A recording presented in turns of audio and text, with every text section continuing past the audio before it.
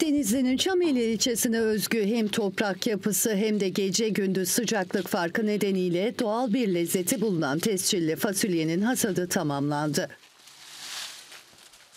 Ürettiği fasulyesi, cevizi ve alabalığıyla ünlü Çameli ilçesinde toplam 2000 dekar alan üzerinde bulunan tescilli fasulyenin hasadı bitti.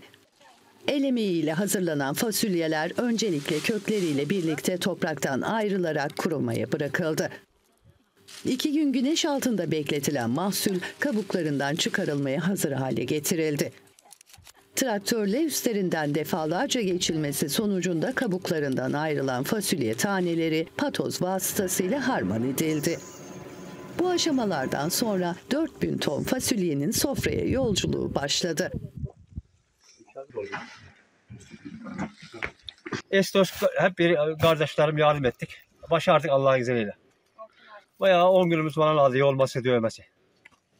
Tabii dolaşamız. Dolu 16 kilo gelir. 100 dolu olur. 1600 kilo falan gelir. Şu anda 50 dolu şu anda 50 dolu önce dövmüştüm. 100 dolu civarında fasulye var. Binbir zahmetle toplanan fasulyenin bu yıl kilogramının 40 liradan satılması hedefleniyor.